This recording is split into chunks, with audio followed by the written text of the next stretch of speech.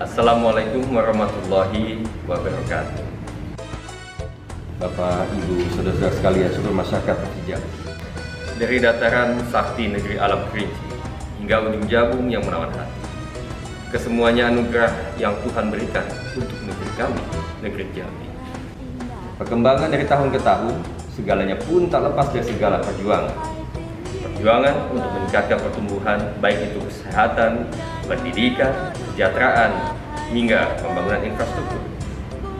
Jambi provinsiku, provinsi yang patut dijaga, dibela, dan dibangun. Genap di usia 61 tahun, berbagai perjuangan dan pembangunan terus kita lakukan. Saya mengucapkan selamat hari jadi Provinsi Jambi yang tercinta. Mari terus berbenah bersama kita cintai Provinsi Jambi dengan aksi dan solusi menuju Jambi tuntas 2021. Terima kasih. Assalamualaikum warahmatullahi wabarakatuh.